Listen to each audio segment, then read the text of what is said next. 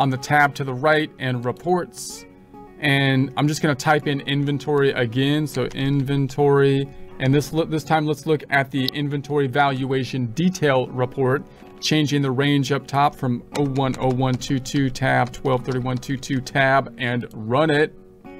So this one shows us activity now. So now we're not really just at a point in time. We're still looking at something that's that's that's coming from the balance sheet account of inventory, but we've added a time factor because we want to see the detail that's increasing and decreasing the inventory items themselves. So if I go into the first one, we're under designs, we've got the pump, we've got the inventory quantity adjustment. So that's what they put, that's how they use to start the inventory to put the beginning balance in place in the practice file.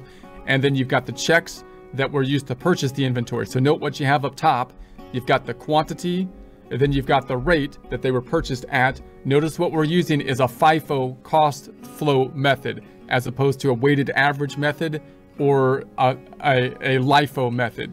FIFO and weighted average are probably the most common kind of uh, inventory flow assumptions. And the flow assumptions become important because if you have a bunch of things that are the same, then the price of them is usually going to go up over time, all else equal, due to inflation. And so then the question is, well, how are you going to determine the cost of the thing that you sold if you just picked a pump and they're all the same, but they cost different amounts due to perhaps inflation, for example? Well, we have to use a flow assumption.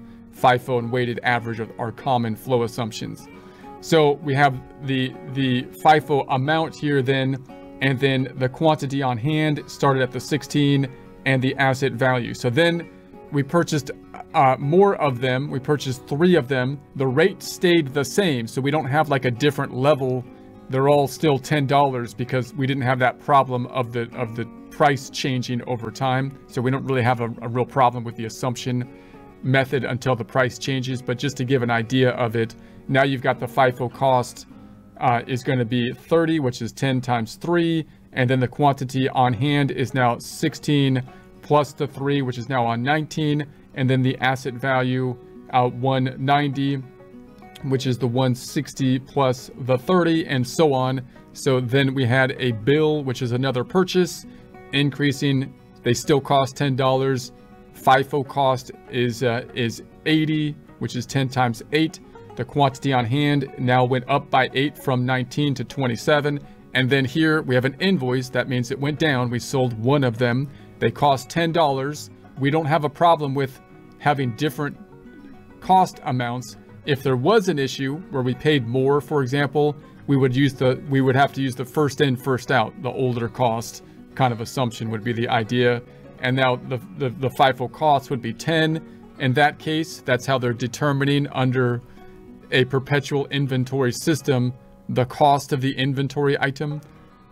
And then and then you got the quantity on hand went down from 27 by 1 and so on. So you can kind of see how your your flow assumptions work by by going into this report and looking at the activity of the increases and the decreases to your inventory accounts. It becomes most interesting when you have a situation like this where the cost changed over time or like this one. So notice this one we had $10 units and then we bought 25 more and the cost went up significantly. And then when we sold them, we sold them for the $10 because we sold the older ones, the older ones, which are usually the cheaper ones if there's, if there's, if it's an inflation thing that's increasing the price over time. So once we eat, once we eat into or sell all the older ones, then we'll sell the newer ones, which are like the more expensive ones, even though they're the same type of units. So there is the inventory flow assumptions. Let's go back